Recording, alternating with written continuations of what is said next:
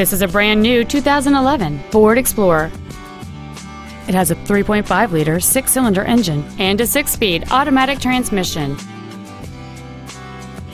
Its top features include heater vents for rear seated passengers, cruise control, front and rear reading lights, a six speaker audio system, leather and alloy steering wheel trim, 18 inch wheels, a security system, a low tire pressure indicator, external temperature display, and a rear spoiler. Stop by today and test drive this automobile for yourself.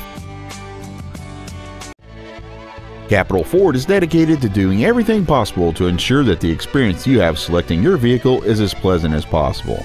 We are located at 4900 Capital Boulevard in Raleigh.